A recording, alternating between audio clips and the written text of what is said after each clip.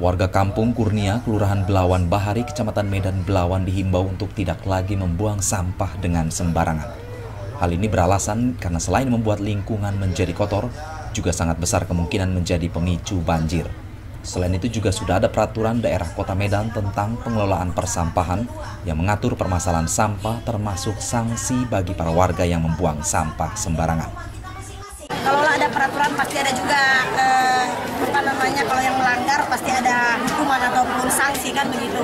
Cuman yang kita lihat saat ini masih kurang ya. Kesadaran masyarakat itu masih kurang dan memang eh, apa namanya sanksi itu juga belum ditindaklanjut dengan tegas, belum disosialisasikan dengan tegas di tingkat kecamatan, tingkat kelurahan, kecamatan. Jadi untuk sanksi saya rasa belum ada yang menjalankan saya rasa di daerah ini. Jadi pada pada dasarnya kita hanya untuk menegur, menyadarkan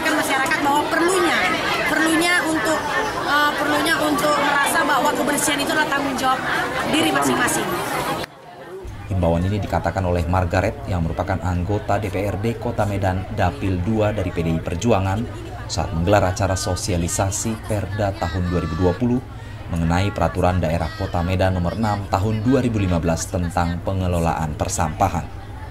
Camat Belawan Ahmad SP juga dalam kesempatan yang sama mengajak warganya untuk menjaga kebersihan dan keamanan lingkungan masing-masing. Semua jalan sampai ke ujung sini.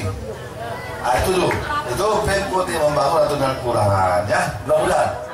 Saya juga ingin masyarakatnya tenang. Sayang kali saya saya enak naik mobil di sini, dan naik mobil.